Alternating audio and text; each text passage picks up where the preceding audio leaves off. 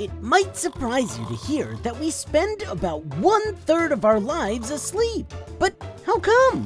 Why do we need to sleep nightly, and what would happen if you never slept again? Let's find out on today's episode of Colossal Question. The very first day after giving up on sleep might not go exactly as you'd expect. The lack of normal sleep will overstimulate your brain since it doesn't have a chance to rest and power down. As a result, the reward pathways in your brain will produce a chemical called dopamine that will make you feel good, awake, and full of energy. Off to a good start, huh? Well, enjoy that while it lasts, because things are about to take a turn for the worse. First, your brain will conserve energy by shutting down the prefrontal cortex, the part that controls your impulses, reaction speed, and decision making. By the beginning of the second day, after two full nights without sleep, your brain and body will start powering down even more, and you might start to look pale and ill with deep, dark bags under your eyes. Two nights without sleep would take its toll on your immune system too, which would leave you much more vulnerable to catching a cold or flu. Day three without sleep is where things would really start to get weird.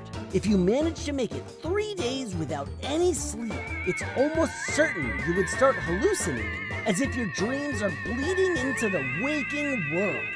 Ugh, trippy. Without sleep, it won't be too long before you actually die from exhaustion.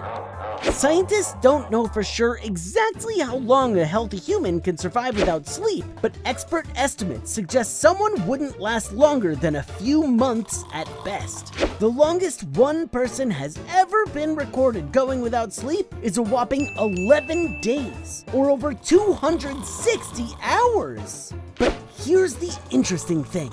Even if you go that long without sleep, all it takes is about 12 hours of good, deep REM sleep to get you back on track with no long lasting health effects.